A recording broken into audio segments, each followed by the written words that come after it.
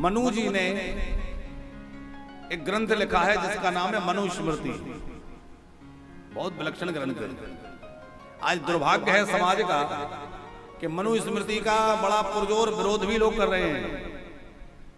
उसको जलाया जाता है, कहीं उसका कुछ किया जाता है। पर हम प्रार्थना करना चाहते हैं कि जब तक ग्रंथों की वास्तविकता को न समझा जाए उनकी गहराई को न समझा जाए, तब तक किसी के साथ इस तरह से व्यवहार करना सर्वथा अनुचित है। जब मुगल शासन हमारे राष्ट्र में हुआ तो मुगलों ने सोचा कि जब तक इन हिंदुओं में आपसी एकता है, हम भारत पर राज्य नहीं कर सकते। इनको तोड़ नहीं सकते। तो आपस में इनको बांटना होगा, लड़ाना होगा, भिड़ाना होगा। उसके लिए उन्होंने तात्कालिक विद्वानों को कुछ लोभ देकर, कुछ भय दिखा करके और उठ पटांग श्लोक लिखवा करके और हमारे धर्म ग्रंथों में घुसा दिए। वो तो श्लोक जानते नहीं थे लिखना, पर हमारे विद्वान तो थे। किसी को तलवार की नोक पर लिखवा दिया, किसी को कुछ लोभ देकर, जहाँ जैसी रही स्थिति। तो ऐसे कुछ विवादास्पद श्लोक हमारे ग्रंथों में डाल दिए। जिससे समाज विभाजित हो जाए और समाज में विभाजन हो जाए तो उसका लाभ वो लोग उठा सकते पर हमारे धर्म शास्त्रों में कहीं भी आपसी द्वेष घृणा अथवा किसी प्रकार के ऊंच नीच की कोई बात नहीं है। मानव सभ्यता को सबको हृदय से लगाने की बात है। उसी मनुस्मृति में कहा गया है वसुधेव कुटुंबकम सारी वसुधा हमारी कुटुंब है।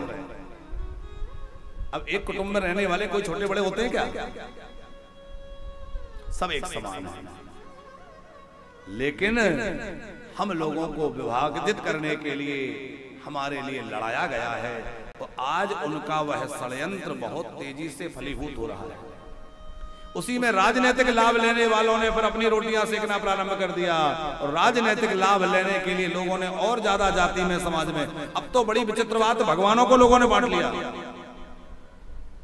परशुराम जी हमारे हैं। उन्होंने कहा, अमुक जी हमारे हैं ये हमारे हैं। अरे भैया, भगवानों को तो जातियों में मत बांटो। भगवान भी कोई जाति में होते हैं क्या? भगवान की कोई जाति होती है क्या?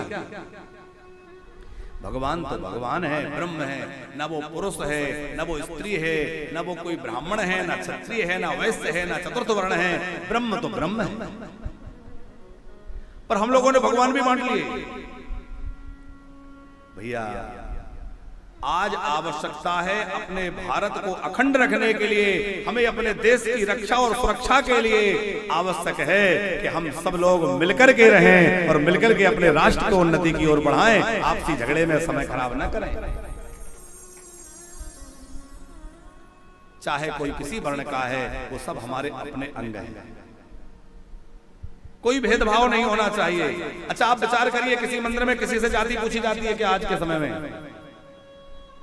कथा हो रही है, यहाँ किसी से जाति पूछी जाती है क्या? अन्य क्षेत्र हो रहा है, किसी से जाति पूछी जाती है क्या? जब मंदिरों में जाति नहीं पूछी जाती, यज्ञों में, धर्मशालाओं में, भंडारों में जाति नहीं पूछी जाती तो भैया प्रमाण पत्र में वहाँ जाति क्यों पूछी जाती है? हमारी सरकार सम जातिवाद फैला करके उसको, भाई, पहले जाति बताओ। हिंदू राष्ट्र है हिंदू एक होना चाहिए। सब हिंदू हम समान हैं। सब एक हैं। और सब हिंदुओं की आवाज़ होना चाहिए कि हमारा भारत हिंदू राष्ट्र बने और हम हिंदुओं का धर्म सनातन सदा सुरक्षित रहे। यह कभी मिटने वाला धर्म नहीं है। महाराज मनु ने मनुस्मृति लिख करके और समाज पर बड़ा उपकार किया। फिर उस अनुरूप आचरण करने वाला कोई नहीं मिल रहा था। आप कहेंगे कि महाराज जी तो मनु जी का ज़बरदस्ती पक्ष ले रहे हैं। अब हम अपनी बात को प्रमाणित करते हैं, अग्रवाल जी। मनु जी ने राम जी से प्रार्थना की कि प्रभु, मैंने ग्रंथ तो लिख दिया, पर अक्षर सा उसके अनुसार चलने वाला कोई नहीं मिल रहा है। जो पूरी तरह उसको चल के जी के दिखाए। तो परम ब्रह्म ने कहा कि मैं स्वयं आऊँगा और अक्षर सह मनु स्मृति पर चल के दिखाऊँगा। तो महामानव के रूप में परमात्मा श्री राम प्रकट हुए और परमात्मा श्री राम ने मनु स्मृति के ऊपर अक्षर सा चल करके दिखलाया है कि मानव का जीवन कैसा होना चाहिए। राम जी ने किसी से द्वेष किया? निषादों को भीलों को कोलों को क्रातों को क्या हृदय से नहीं लगाया?